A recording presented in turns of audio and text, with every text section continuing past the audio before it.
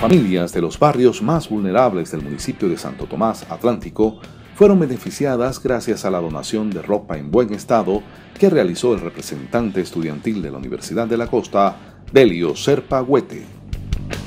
Que a través de la campaña Recorramos juntos un camino solidario recolectó los días 9 y 10 de abril entre estudiantes, docentes y personal administrativo de la institución ropa en buen estado.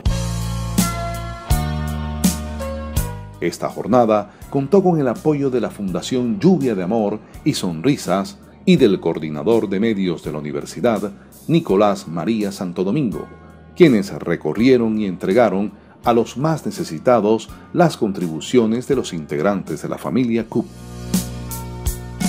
Esta campaña está enmarcada en el compromiso social que viene trabajando desde su fundación la Universidad de la Costa CUP, que busca generar bienestar y progreso en las familias del Departamento del Atlántico.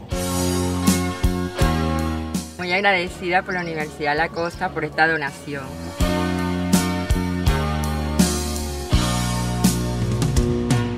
Somos la Universidad de la Costa.